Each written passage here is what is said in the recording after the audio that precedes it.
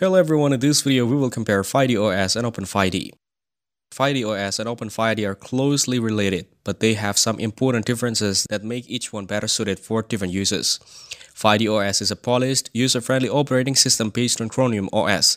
It's developed by Fyde Innovations and comes with extra features like Android app support, Linux app support, and even the ability to run some Windows apps using third-party tools. FydeOS is ideal for users who want a Chrome OS-like experience but with more flexibility and compatibility. It's especially popular in regions where Google services are restricted like China because it doesn't rely heavily on Google's ecosystem.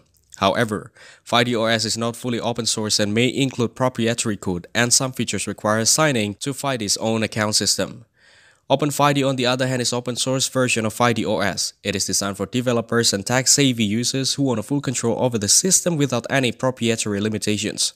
openFyde gives you the best Chromium OS experience and is more transparent, but it doesn't include all the polished features of FydeOS, like easy Android app integration or Cloud Sync.